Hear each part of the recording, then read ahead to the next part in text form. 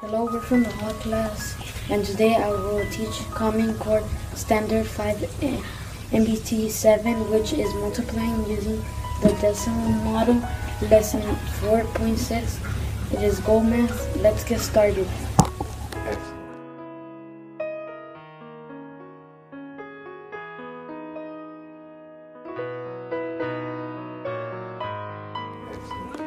Hello, our problem for today is 0 and 8 tenths multiply, I meant to say times 0 and 5 tenths.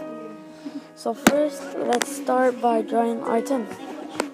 And we're gonna pick the, we're not gonna pick, we're gonna get the highest number, which is 8 tenths. So we're gonna draw them down. 1 tenth, 2 tenths, 3 tenths, 4 tenths, 5 tenths, 6 tenths, 7 tenths, and 8 tenths. Now we're going to draw the 5 tenths. Alright, so we're going to draw 5 tenths. Okay, so 1 tenth, 2 tenths, 3 tenths, 4 tenths, 5 tenths, and that's it.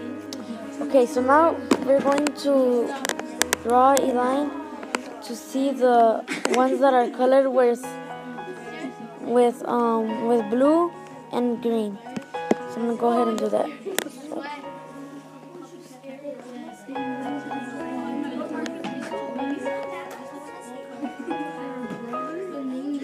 Okay, so as you can see inside the rectangle are all of the ones that we're going to multiply. So it so if you can count all of those units inside, it will gives us 440 tenths. So the so the answer will be zero and four tenths. So 0 and 4 tenths will be our final product.